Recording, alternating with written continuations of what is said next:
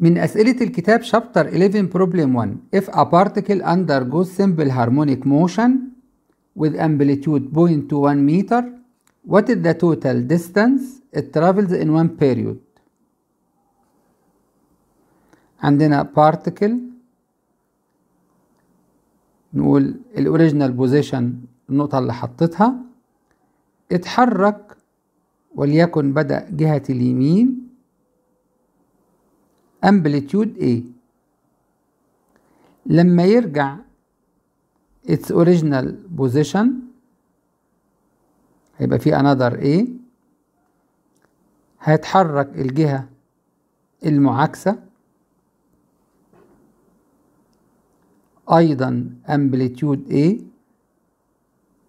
بعدين يرجع its original position fourth A يبقى عندنا 4 A's اتحركهم خلال 1 period. فنقدر نقول إن ال total distance